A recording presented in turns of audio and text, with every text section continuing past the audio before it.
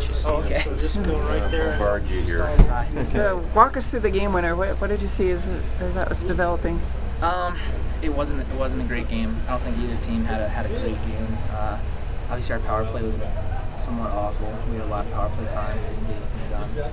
Um, it was kind of a miracle. It was two two after two periods, so um, we're glad we snuck a win out of the whole thing and get started next week. Could you talk about the game-winning goal and, and how that Um, developed and what you saw? Or? Yeah, it's, I got the puck in the neutral zone and and uh, just wheeled around the net. kind of ran into a guy in front of the net and then just threw it at the net.